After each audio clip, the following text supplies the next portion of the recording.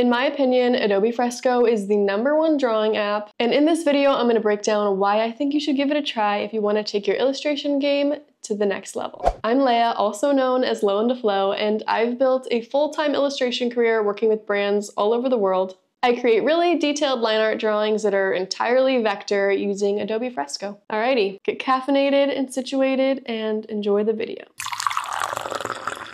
Now, at one point, I was using Procreate for all of my illustration work. And don't get me wrong, it is a cool app, and I really understand why people love it. But if you're serious about making illustration a professional career, hear me out on why Adobe Fresco might be the better choice for you. While I was using Procreate for my drawing work, I just ran into the same pain point over and over again. The struggle and the painful process of trying to vectorize my artwork. Now, for some people, their artwork is really simple and they don't mind drawing in like raster and pixel brushes and then using image trace tools later to vectorize their work. But I could just never get this to work for me. My artwork is really detailed and complex, and I always just felt like I had to sacrifice my artistic style in order to get vector files, which are really important for printing and product applications. And that's a huge part of what I do in my job. And if you're completely new to digital art, let me just back up a little bit and explain what all this raster vector nonsense is. There is raster art that is created using pixels. Any given image has a certain amount of pixels, and the higher the pixels, the higher the quality of that image. But if you zoom in on the image, or you try to scale it to be larger, you'll notice that it becomes really pixelated and looks like junk. Vector art, on the other hand, is created using points and math. And if your artist brain just checked out when I said the word math, just just hang in there. Stay with me. Basically, vector images are infinitely scalable, so no matter what size artboard you use to draw, you could scale it down to something as small as a business card or blow it up huge on a billboard or the side of a building. So basically, it's infinitely scalable without compromising the quality of the image. And if you're watching this, you might be somebody who's still using Procreate and then going into a software like Adobe Illustrator after to image trace your work to get it into a vector format. And if this process works for you, awesome. For me, I found it really frustrating and unintuitive. My goal is for the process to feel as artistic as possible. So I want to be doing 99% of my work with a pencil in my hand actually drawing. I don't mind doing design stuff on the computer, like I love creating repeating patterns and, you know, adding text and just a little bit of flair using Adobe Illustrator afterwards, but for my drawing work, I just want to draw. and what I'm drawing, I want it to remain what it looks like when I hand drew it. Adobe Fresco has built-in vector brushes, so you're gonna hand draw everything like you normally would, except for its vector from the outset. And this is an absolute game changer. And these brushes feel natural like any other pen or pencil in another drawing app. In fact, I think they're better. And for me personally, in my artwork, the line art is the star of the show. It's what I'm the best at and it's what I really like to highlight in all of my pieces. So my inking and line art brush are really important to me and I've nailed down the perfect brush settings to get just the nicest, smoothest, crispiest lines. In the vector brush library, I just started with the default round brush and I adjusted the settings to add some taper and I like to jack the smoothing all the way up because I like to have really smooth and clean lines. If you're somebody who likes a lot more of an organic, kind of like jittery feel, then you can just turn the smoothing down. And people always bring up the delay and the lag in my pen. Seriously, it's just the smoothing. If you don't like that, you can just turn the smoothing down a little bit and it won't be that way. I personally don't mind it at all. It really like slows down my stroke and makes it extra accurate. But if you don't like that, just turn your smoothing down and stop yelling at me. Okay, so aside from vector art being really versatile and great for printing and product applications, I also just really love the process of using vector brushes for drawing. Because you can zoom in so far without pixelation or losing quality, you can get really precise and detailed which is just something that I couldn't do using raster brushes. I see you guys using your pixel brushes in your videos and like, I really don't know, I don't know how you do it. To me, it looks like you have glasses on that are just like super dirty and your whole image that you're looking at is blurry. Like I don't even know how you can, I don't know how you function. There's no way that I could go back. And I think if you tried it out, if you haven't yet, you might not go back either. and by the way, Adobe Fresco does have really rad raster brushes too. It's everything in one app. It's not just a vector software. In fact, they have a lot more raster brushes. My favorite is the sketching brushes. I love to start every drawing with a rough sketch concept, and I really like the default pencil brush that comes in Adobe Fresco. It just feels super natural. Love starting all of my pieces with a really loose, low pressure sketch just to get things going and I want it to feel as close to a pencil as possible, and that is what I found with that brush. I also love the live brushes, which feel really close to traditional art. I personally have been loving the watercolor brush and the smudging tools to create depth and shadows and fun elements in my lo-fi, low in the flow animations. Shameless plug. I have a YouTube channel called Lo-Fi Low and Flow where I create really cool worlds that you can escape to that are one hour lo-fi tracks with really cool animations just in case you want to chill the heck out. You can listen to it while you're drawing, cleaning the house, working, doing emails, studying, trying to go to sleep, whatever it might be.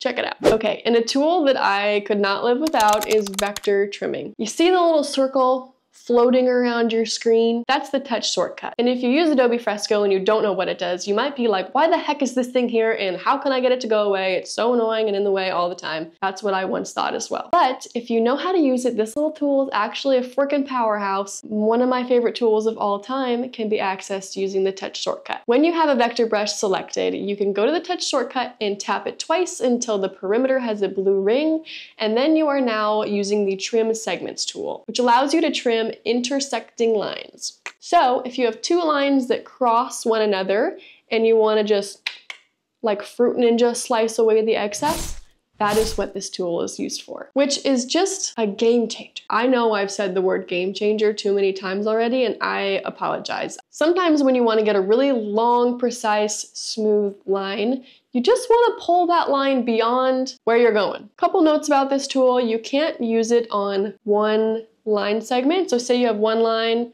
and it goes and then crosses its own path, it views that as being like one segment. So it'll slice away the whole thing. It has to be two separate lines coming together. Another thing is that it can't be two lines coming together using the symmetry tool. So if you turn on symmetry, which is also another great tool, basically when you're using the symmetry tool and you cross two lines in the center together and you try to do the same thing, it takes the whole thing away, so it must consider it one segment. Anyways, would be really rad if we'd be able to do that. Another thing is if you have a bunch of lines that you need to trim, but somewhere within your line work you filled an area, and then you go in and try to trim those segments, it's gonna trim the whole thing away because when you filled an area, it turned all of that into one segment. So just a pro tip, make sure that you trim all your segments before you fill in any of those areas. So next up, another tool that I really love is the set as reference tool. I set my line art layer as a reference and then I use the layers below it to fill in my flat fill colors for my drawing while keeping all of them on their own layer. For client work and things like t-shirt designs, I really need my final art to all be separated by color and this makes it super easy. When you go to fill color, it'll ask you if you want to fill it using vector or pixel.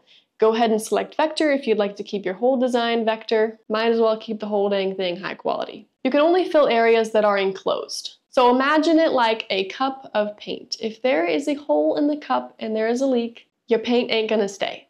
It's the same way with this. You can only fill areas from your line art reference that are enclosed with lines.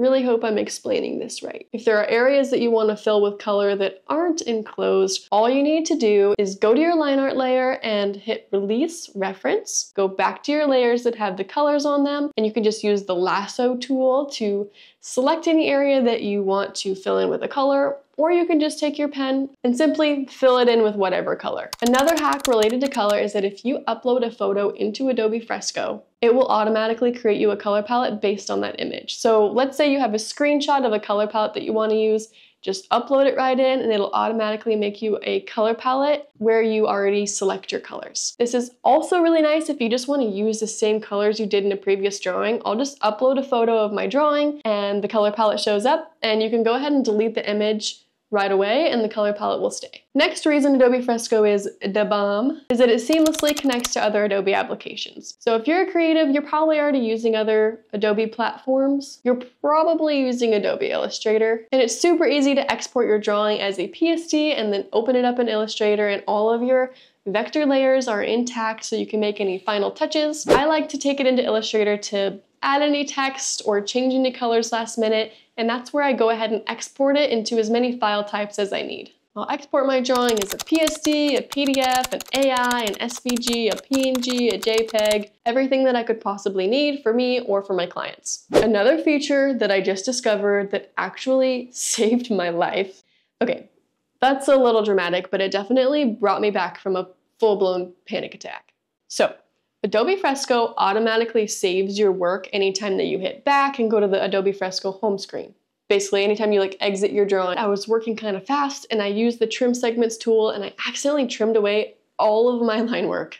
It was gone. I had spent hours on it at this point. It had never actually happened to me before, surprisingly, so I had never gone looking for a solution. Pretty quickly, I realized that there is a version history option in Adobe Fresco, which is amazing. Thank God. so I went and I selected version history and it has in there all the different timestamps of when your drawing had saved. So I just went back a couple minutes to the most recent save and everything was intact. So when I reverted my drawing back to the most recent timestamp, it just created me a copy of it at that timestamp, and then the original one that I messed up was still there as well. So I could see that being super useful, making sure that you have copies of it at different timestamps. I mean, imagine if you went really far into a drawing and you think, damn, this looked so much better three hours ago when I was using those other colors. You can just go back to that timestamp and have a whole nother version of it. You guys, you don't even understand how happy I am about this thing I discovered. Thank God that happened to me. Okay, so this just barely scratched the surface of why I love Adobe Fresco and use it for all of my illustration work, but I am looking forward to creating more videos and hopefully being of more value to you. I'm gonna be sharing my advice, making drawing tutorials, all the things. So if you have anything that you wanna see, feel free to leave me a suggestion. And if you liked this, you should subscribe. I'll also be responding to any and all comments, so feel free to say hello or ask me a question. I'd love to just chat and answer any questions any of you guys have. All right, cheers, homies. Leia out.